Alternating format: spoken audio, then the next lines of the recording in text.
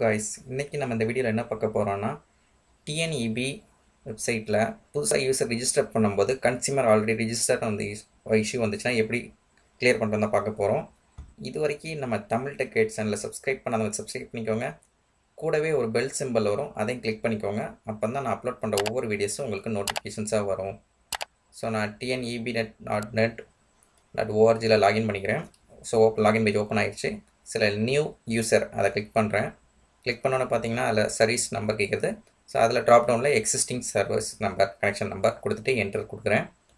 அதில் region so region select பண்ணுறேன் select பண்ணி உங்கள் ரீஜனை நீங்கள் சூஸ் பண்ணிக்கோங்க. ஸோ என்னோடய ரீஜன் நான் சூஸ் பண்ணிக்கிறேன். ஸோ இதில் கன்சியூமர் நம்பர் கன்சியூமர் நம்பர் பார்த்தீங்கன்னா உங்கள் இபி கார்டில் இருக்கும். ஸோ அதை நீங்கள் டைப் பண்ணணும். ஸோ டைப் பண்ணும்போது எப்படின்னா நீங்கள் அந்த ரீஜன் கோட் இல்லாமல் டைப் பண்ணணும். ஸோ கன்சியூமர் நம்பர் நான் டைப் பண்ணிக்கிறேன். டைப் பண்ணி முடித்தோடனே இதில் செக் டீட்டெயில் கிளிக் பண்ணுறேன் அதோட ஸ்டேட்டஸ் வருது. ஸோ உங்களோட user name address service status எல்லாம் கரெக்டாக செக் பண்ணிக்கோங்க.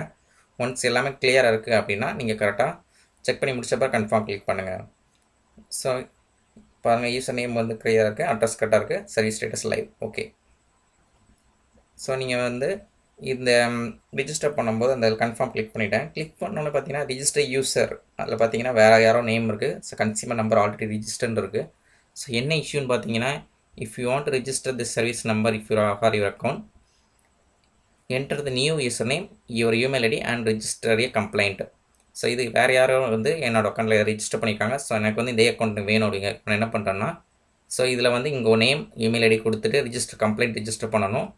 ஸோ அவங்க என்ன பண்ணுவாங்கன்னா வெரிஃபை பண்ணுவாங்க. ஸோ ஆல்ரெடி ரிஜிஸ்டர் பண்ண மட்டும் டெலிட் பண்ண சொல்லி ரெக்வஸ்ட் பண்ணுவாங்க. ஸோ அவங்க அப்படி டெலிட் பண்ணலை அப்படின்னா அவங்க யூசேஜ் ஃபுல்லாமே செக் பண்ணிவிட்டு ஸோ செவன் டேஸ்க்குள்ளே அந்த அக்கௌண்ட்டில் எதுவும் ட்ரான்சாக்ஷன் இல்லை அப்படின்னா டெலிட் பண்ணி விட்ருவாங்க டெலிட் பண்ணிவிட்டு நமக்கு வந்து மெசேஜ் வந்துடும் ஸோ அந்த அக்கௌண்ட் டெலிட் ஆயிடுச்சு அப்படின்னு வரும். ஸோ நம்ம டெலிட் ஆயிடுச்சுன்னு வந்ததுக்கப்புறம் நம்ம நியூ யூஸரை போய் ரிஜிஸ்டர் பண்ணி பண்ணிக்கலாம். ஸோ நியூ யூஸர் எப்படி ரிஜிஸ்டர் பண்ணுறதுன்ட்டு நான் நெக்ஸ்ட் வீடியோவில் ஆட் பண்ணுறேன் ஸோ அந்த வீடியோவையும் ஃபுல்லாக பாருங்கள் ஸோ ஃபுல்லாக படிக்க தான் எப்படி புதுசாக நம்ம ரிஜிஸ்டர் பண்ணலாம்னு உங்களுக்கு தெரிஞ்சிடும் ஸோ இதில் your name your email ID நான் டைப் பண்ணுறேன் டைப் பண்ணிட்டேன். ஸோ டைப் பண்ணி முடிச்சு do you want register your claim அப்படின்னு கொடுத்தீங்கன்னா ரிஜிஸ்டர் கிளைம் கொடுங்க. கொடுத்தீங்க பார்த்தீங்கன்னா your complaint ஆக்சிங் been register and mail sent to the account holder to deactivate the account so account deactivate பண்ணுறதுக்காக உங்களுக்கு அனுப்பிட்டேன் சொல்லி இது மெயில் மட்டும் வரும். ஸோ இதுக்கு கன்ஃபர்மேஷன் மெசேஜ் எதுவும் உங்களுக்கு மெயிலுக்கு வராது. அவங்க டெலிட் பண்ணிட்டாங்க அக்கௌண்ட் டெலிட் பண்ணிட்டாங்க.